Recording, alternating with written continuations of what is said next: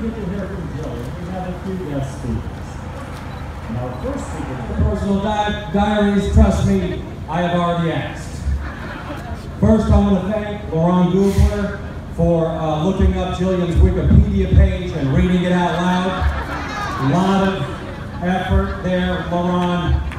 The part where you mentioned her in Robot Chicken was tear-jerking. Um, I know what you're thinking. Why is Daniel Tosh honoring Gillian Anderson? It was a myth. Uh, I first met the great Gillian in 2015.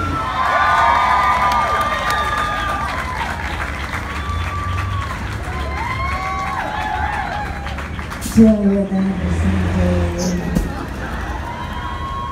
What's that gonna cost?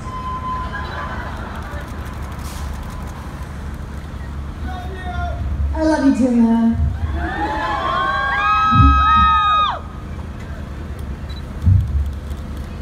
Thank you to the City of Hollywood and to the Hollywood Chamber of Commerce for this incredible honor.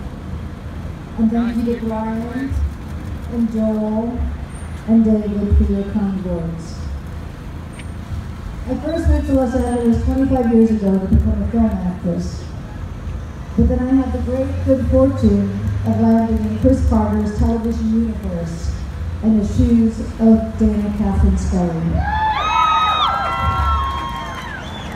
A woman who wasn't just the object of man's desire, but a strong-willed, smart, brave woman who was career-driven and fiercely independent.